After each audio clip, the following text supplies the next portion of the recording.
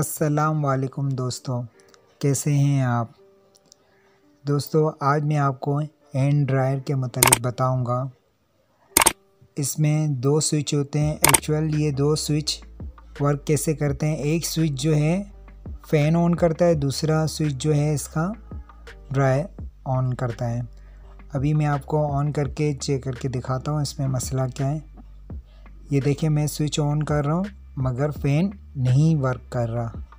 आपको नज़र आ रहा होगा फ़ैन सही से वर्क नहीं कर रहा। ये स्विच भी दबा रहा हूँ मैं। फ़ैन का स्विच भी दबा रहा हूँ। इसके बावजूद भी फ़ैन ऑन नहीं हो रहा।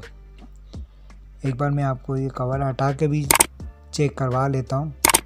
देखिए मैंने स्विच को दबा लिया, मगर फ़ैन ऑन नहीं हो रहा। इसमें क्या मसला है? इसको ओपन करके चेक करके हमें आपको बताता हूँ, आप घर बैठे किस तरीके से एंड ड्रायर रिपेयर कर सकते हैं। ईजीली आपको ये दोनों स्क्रू नज़र आ रहे होंगे। सबसे पहले मैं ये स्क्रू को ओपन कर लेता हूँ।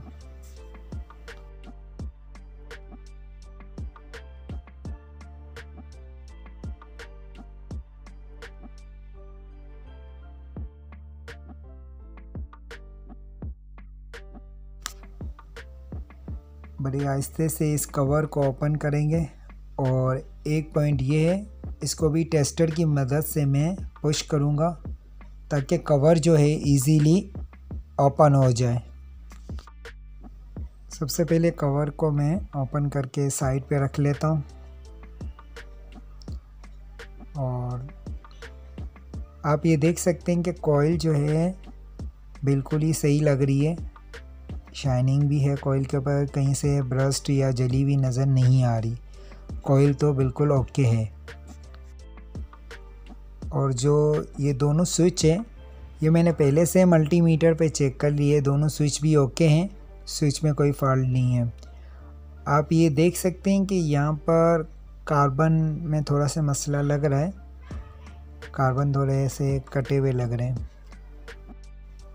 तो मोटर को ओपन कर लेता हूँ। अलग करके मैं आपको बताता हूँ कि एक्चुअल फॉल्ट क्या है। सबसे पहले ये क्लिप निकाल देता हूँ।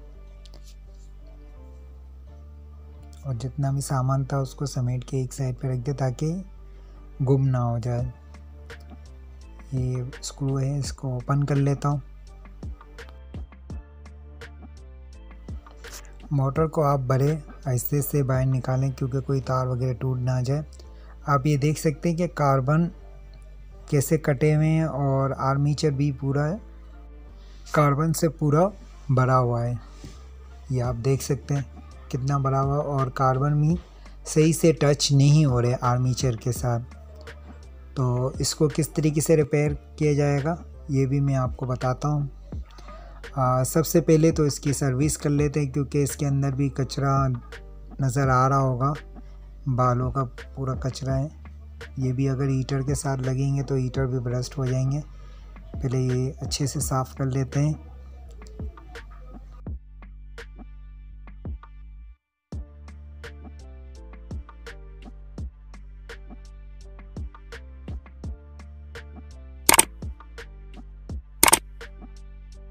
कार्बन के इस क्लिप को ऊपर थोड़ा से हल्का से पुश करोगे तो स्प्रिंग और अंदर से कार्बन बाहर आ जाएगा। स्प्रिंग को मैं साइड पे रख लेता हूँ।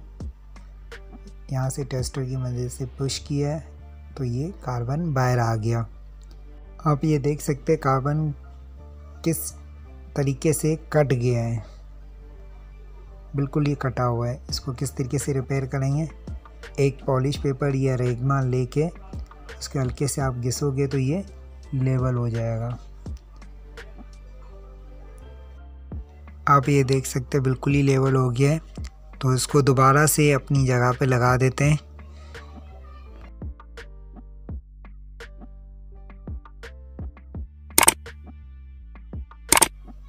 इसी तरीके से दूसरी साइड वाले भी कार्बन को निकाल कर इसी तरीके से रेगमाल पे घिसाई करके दोबारा से अपनी जगह पे लगा देंगे।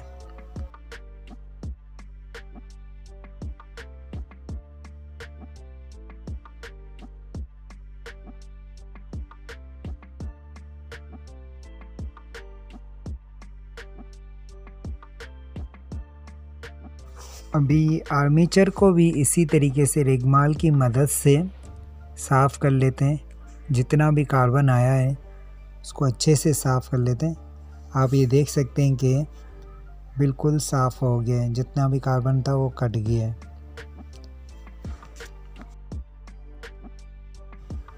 मोटर को दोबारा से अपनी जगह पर लगा लेते हैं और स्विच वगैरह की भी अच्छी सी फिटिंग कर लेता हूँ ताकि फिटिंग के दौरान में मसला ना आए।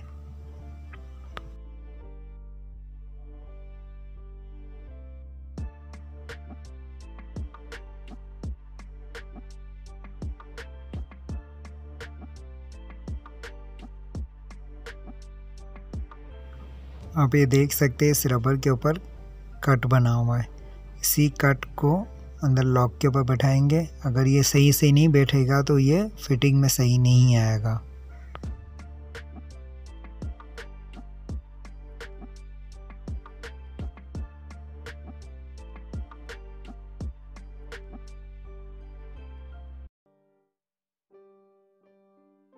फिटिंग अच्छे से करने के बाद चेक कर लेते हैं कि ब्लोअर अच्छे से वर्क कर रहा है कि नहीं।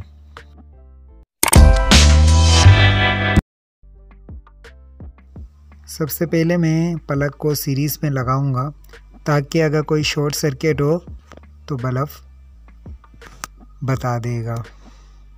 सीरीज़ पे लगाने का मकसद ये होता है कि अगर शॉर्ट सर्किट कुछ भी होगी तो बल्ब ऑन होगा तेज़ी से। इससे हमें पता चल जाएगा कि शॉर्ट सर्किट है। अभी आप देख सकते हैं कि फ़ैन सही से वर्क कर रहा है, स्टार्ट हो गया है। यानी कि मसला हल हो गया है। उम्मीद करता हूँ आप तमाम दोस्तों को मेरी ये वीडियो समझ में आ गई होगी। जिन दोस्तों ने अभी तक मेरा चैनल सब्सक्राइबर नहीं किया, सब्सक्राइबर कर लें और बेल आइकन को बटन को दबा दें।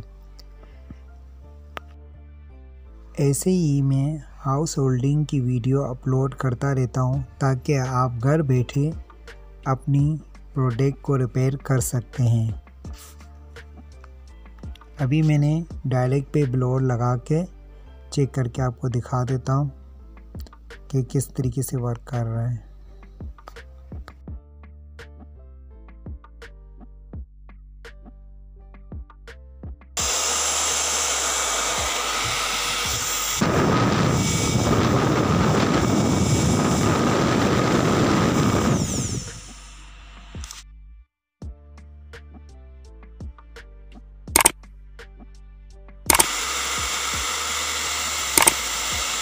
आप देख सकते हैं कितने अच्छे तरीके से वर्क कर रहा है। ओके गाइस अल्लाह हाफिज़, मिलते हैं नेक्स्ट वीडियो में नेक्स्ट टॉपिक के साथ।